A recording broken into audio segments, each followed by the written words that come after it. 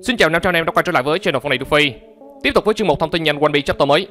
Lưu ý video này không dành cho những anh em ghét spoiler cũng như chưa chapter ra đầy đủ để thưởng thức một cách trọn vẹn.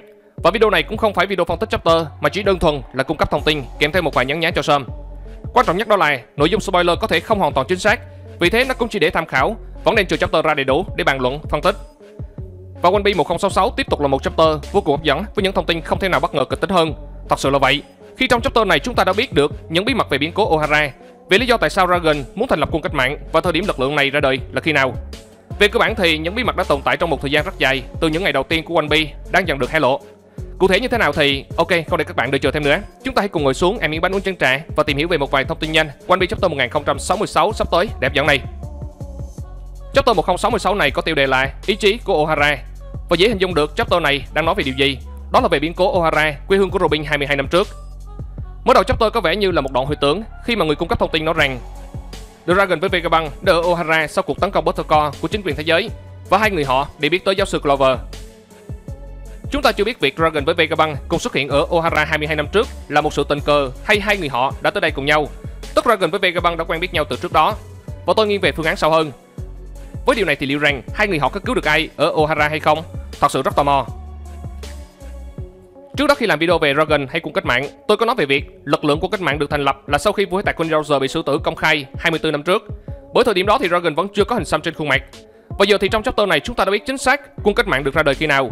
Đó chính là 22 năm trước sau biến cố Ohara. Sau khi chính quyền thế giới xóa sổ Ohara bằng Buttercore, Dragon đã quyết định thành lập lực lượng của cách mạng. Đồng thời thì một nhóm người khổng lồ đã mang tất cả sách của Ohara đến hòn đảo Elbas. Và nhóm người khổng lồ này được dẫn đầu bởi một người bị băng bó khắp cơ thể với chăng đó chính là Pharaoh Jaguadisaur và ông phải băng bó toàn thân sau khi bị Aokiji, lúc này là phó đô đốc đóng băng. Tức ý của tôi là Jaguadisaur vẫn còn sống. Và đó là một tin tức quá đổi tuyệt vời với Robin, bởi cô nàng đã phải chịu sự cô đơn đến tận cùng khi chỉ mới 8 tuổi. Tôi hy vọng là thế. Vâng, vậy là Elbat đã được nhắc đến với một vai trò thật sự quan trọng, nơi lưu giữ những cuốn sách vô giá của Ohara. Vậy hòn đảo của người khổng lồ này vẫn còn tồn tại hay đã cùng chung số phận với Ohara? Tôi nghĩ Elbat vẫn còn đó và nó đang thuộc quyền quản lý của tứ hoàng xanh tóc đỏ nên dù có muốn thì ngũ lô tinh cũng không dám bán mạng tới đây. Một chapter với quá nhiều thông tin hấp dẫn. Dường như phần lớn thời lượng chapter này đã nói về biến cố Ohara 22 năm trước. Khi mà thông tin tiếp theo đã là cuối chapter Luffy Murom đã gặp được tiến sĩ Vegapunk thật. Và Vegapunk đã nói rằng Con trai của Dragon, tôi biết cậu sẽ đến đây mà. Đồng thời thì theo Redon Trong chapter này chúng ta cũng đã thấy được nhân dạng của tiến sĩ Vegapunk Trên đó thì tôi hy vọng Oda sẽ tiết lộ mối quan hệ giữa Vegapunk với Dragon là gì? Họ đã gặp nhau từ khi nào? Để từ đó chúng ta biết được Vegapunk sẽ đối xử, tiết lộ điều gì với Luffy cùng với bang Muram.